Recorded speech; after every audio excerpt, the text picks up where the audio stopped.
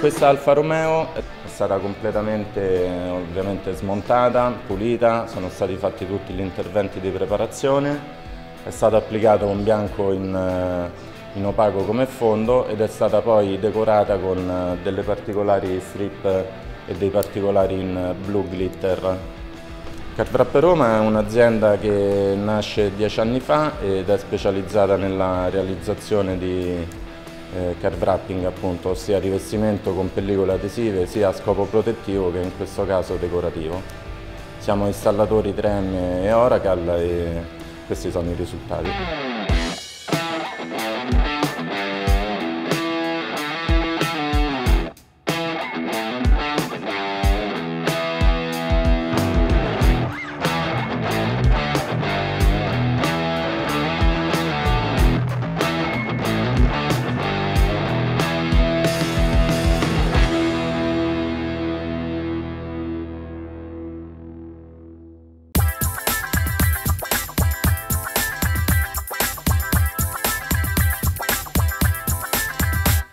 Siamo a Misano, una pista straordinaria, poi la cosa molto bella è che questa pista è stata dedicata al grande Marco Simoncelli,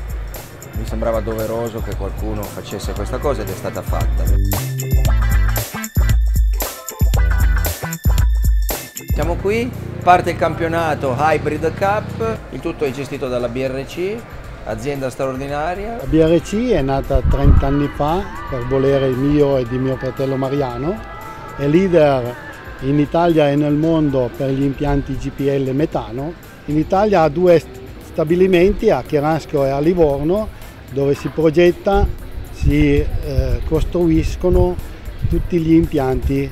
che poi vanno in giro per il mondo. Ci siamo inventati tre anni fa questo trofeo denominato Green Scout Cup per i primi due anni e che quest'anno è diventato un Green Hybrid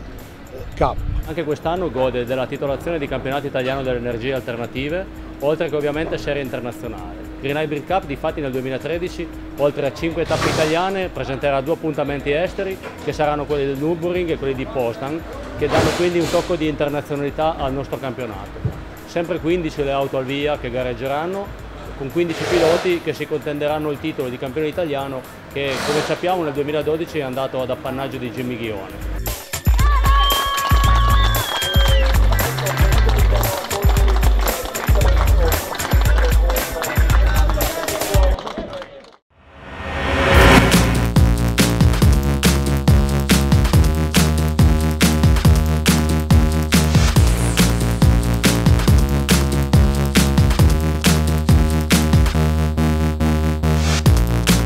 Auto quest'anno presentano un'ulteriore novità che è rappresentata dall'alimentazione ibrida,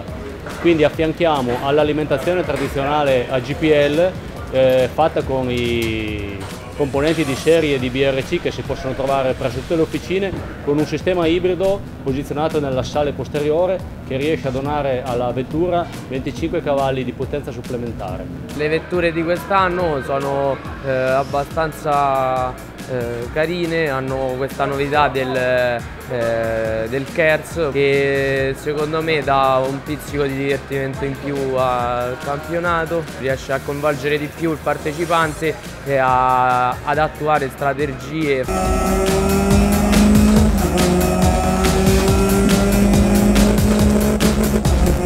La parte fondamentale della macchina rimane quindi l'alimentazione con l'impianto a gas, come dicevo l'impianto a gas uguale a quelli degli impianti a gas di serie, il serbatoio GPL è ubicato al posto del serbatoio benzina e quindi in posizione ultra sicura, tant'è che in queste gare che abbiamo fatto in questi due anni precedenti non abbiamo mai avuto alcuna noia di carattere meccanico o di carattere tecnico. Una cosa da sfatare è il fatto che il gas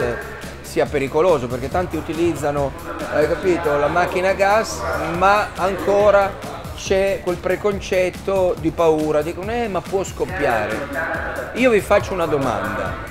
secondo voi una macchina a gas è mai scoppiata? Avete mai sentito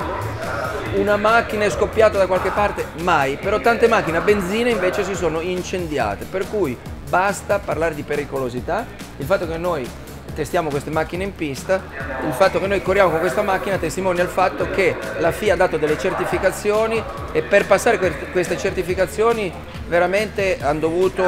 eh, passare mille collaudi. La parte ibrida è ovviamente installata come dicevamo nella sala posteriore, ovviamente in questa configurazione è impossibile vederlo in quanto bisognerebbe sollevare la vettura, comunque diciamo è un progetto anche questo sviluppato internamente all'interno dell'area ricerca e sviluppo di DRC.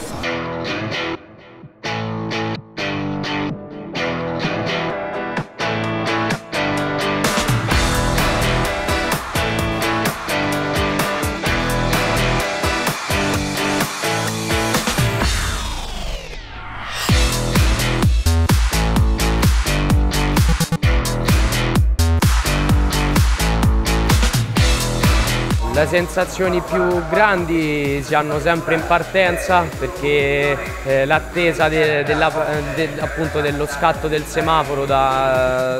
da rosso a verde eh, ti crea proprio uno stato d'ansia, d'emozione che, eh, che poi scompare subito dopo appunto essere partita aver schiacciato l'acceleratore.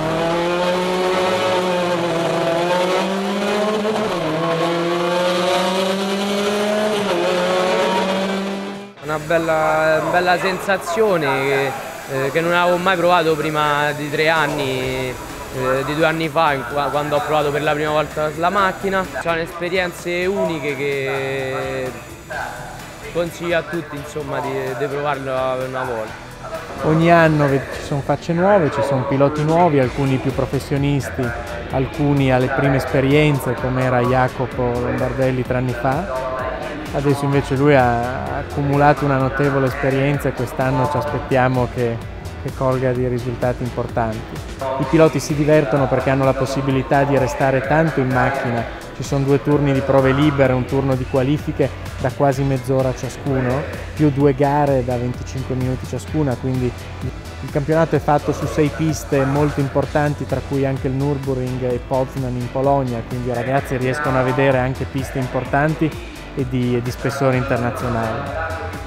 Ogni gara è costituita appunto da due turni di libere, un turno di qualifiche e due gare.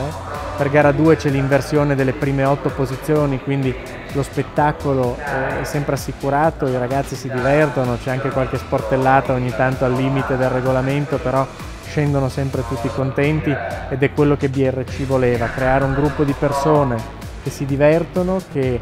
tra le quali nasce anche un'amicizia al di fuori del, del, circuito e questo è uno dei successi più, più grossi che questo campionato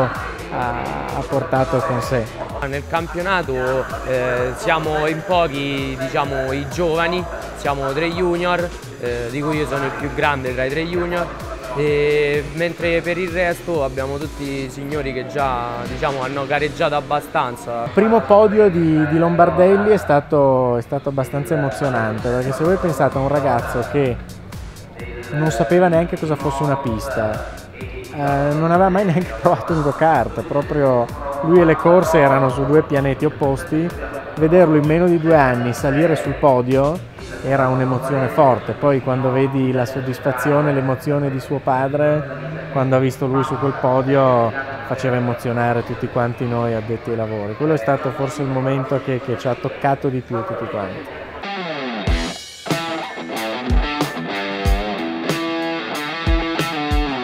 Questa, come dicevamo, è la prima tappa,